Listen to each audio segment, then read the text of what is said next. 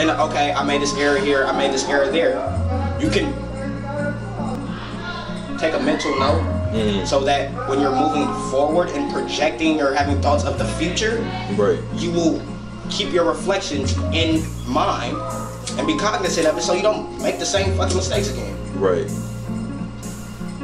Damn right. But motherfuckers struggle with stepping out of the present tense and stepping out of themselves. So being able to do both, you you have to come to An place- internal an, an internal place of peace, Yeah. where despite what the fuck is going on around you, because it's always gonna be chaos no matter where you are. But to be able to step out of that chaos, step into a place of peace, is it's critical to your your mental health, But your mental spiritual stability.